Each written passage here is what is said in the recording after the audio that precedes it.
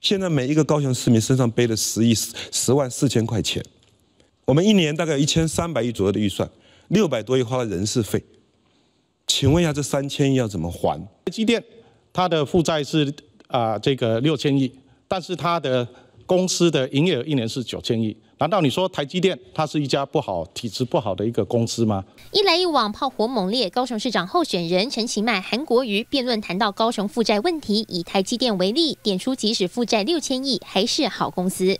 只是这负债数字一出，向来重视公司治理的台积电说话了。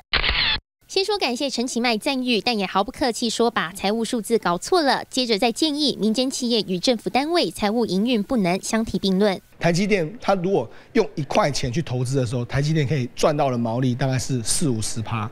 所以呢，它投入越多资金的时候，它其实可以赚的钱越多。负债的高低其实是没有办法很明确去评估这家公司的好坏与否，就跟我们的县市政府是一样的。县市政府的负债比重高就一定不好，倒未必。重点是说。